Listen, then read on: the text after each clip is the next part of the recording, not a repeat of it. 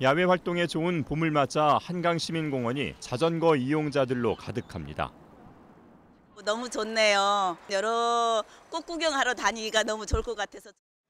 하지만 자전거 이용자가 많아지는 만큼 사고도 늘어 각별한 주의가 필요합니다. 국민안전처의 2014년 재난연감 통계에 따르면 자전거 사고가 총 4,571건 발생해 4,178명이 다치고 57명이 사망한 것으로 조사됐습니다. 특히 5월에는 전체 사고의 12%가 발생해 498명이 다치고 7명이 사망했습니다.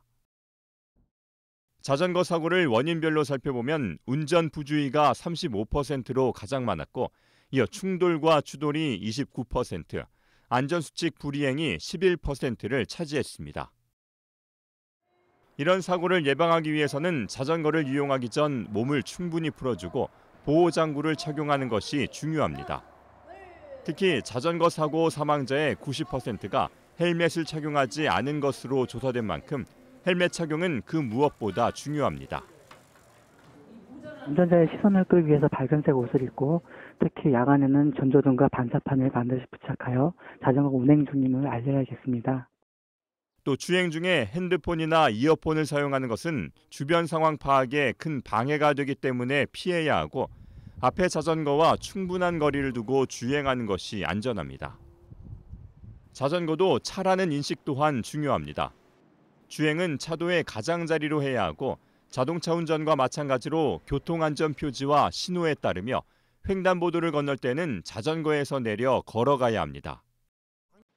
수신호를 생활화하는 것도 사고 예방에 큰 도움이 됩니다. 자신의 주행 경로를 미리 알려주면 후방 운전자가 이에 대비해 서로의 충돌을 피할 수 있기 때문입니다.